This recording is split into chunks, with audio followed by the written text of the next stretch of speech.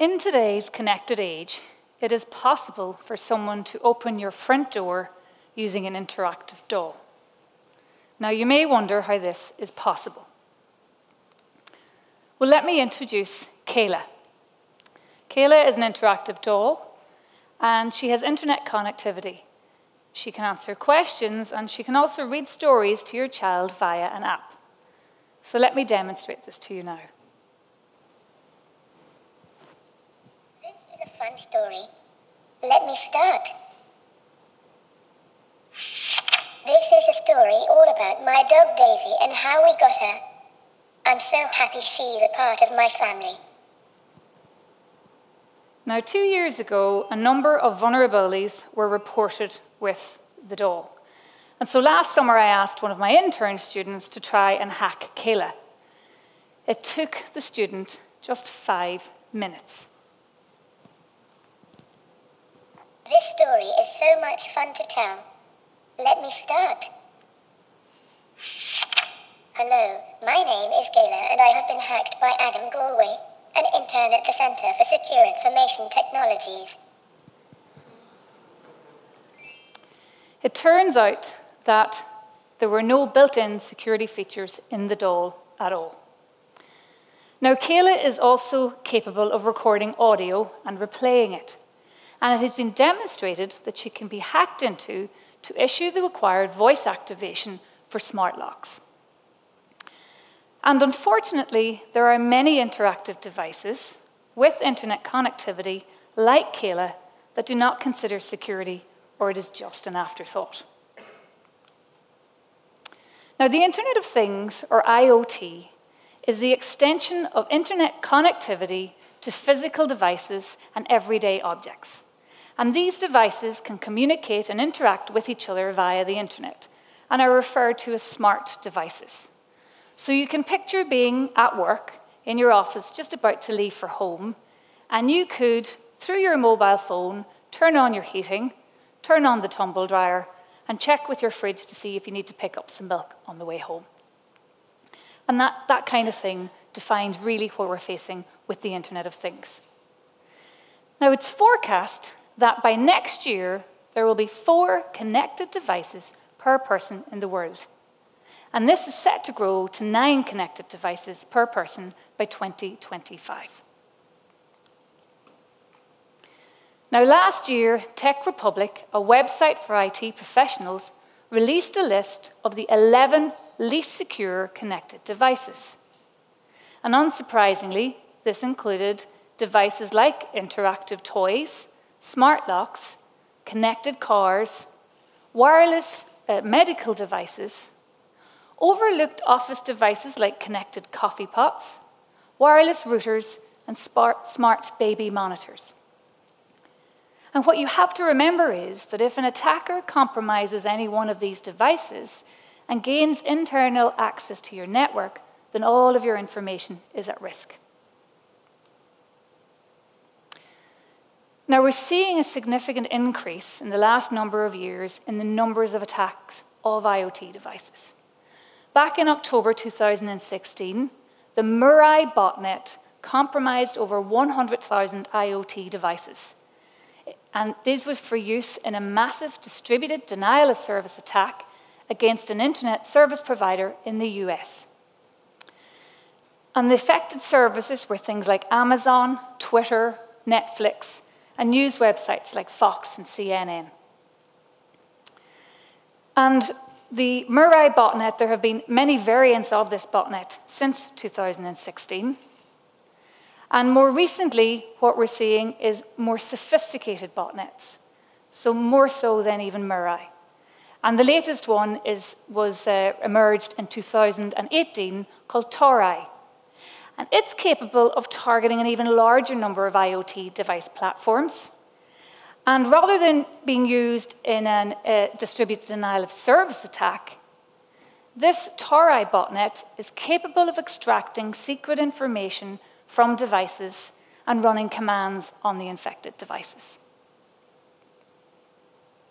Now, interestingly, last year, during the Trump Putin summit that was held in Finland in July, there was a significant spike in the number of attacks against IoT devices around the dates of the summit. And the devices targeted were those that could yield audio and visual intelligence, so likely an attempt to gather intel on the two world leaders and their staff. Now, a common theme of all of these attacks and the botnets is that they use weak or default credentials on devices in order to gain access to them. Now, counterfeit connected devices are also on the rise. So, as we see an increase in the number of internet connected devices, are we heading for an internet of cloned things?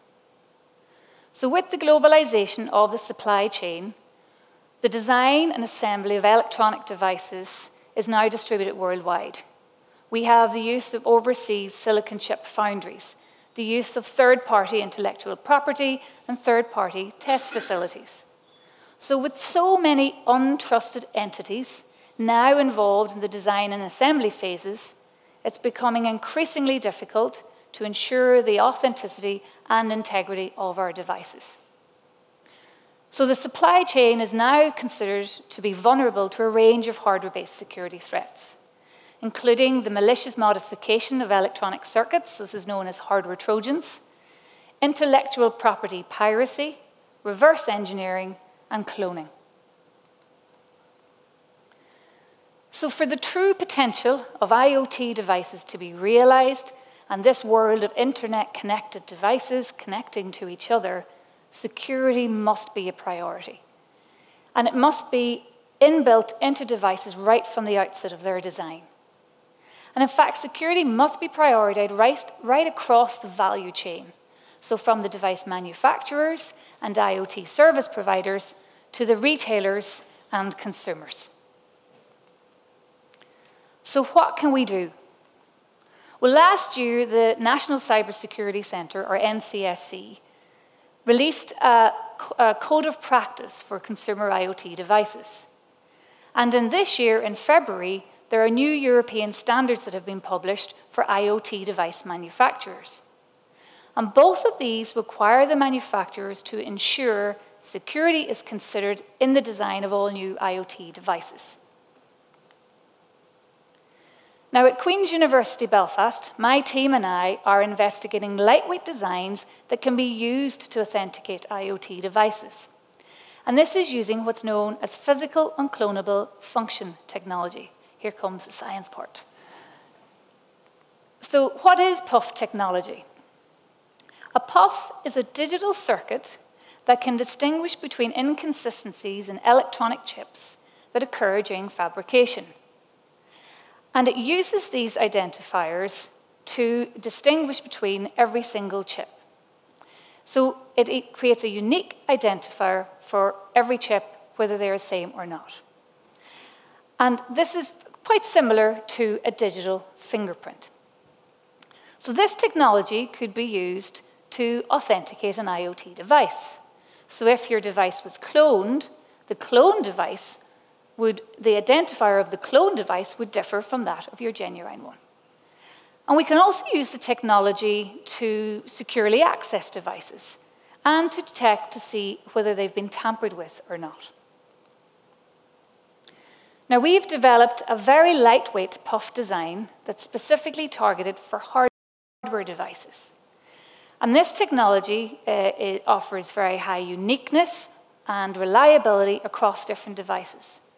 And it has been built into a demonstration model for electronic component counterfeiting in industry.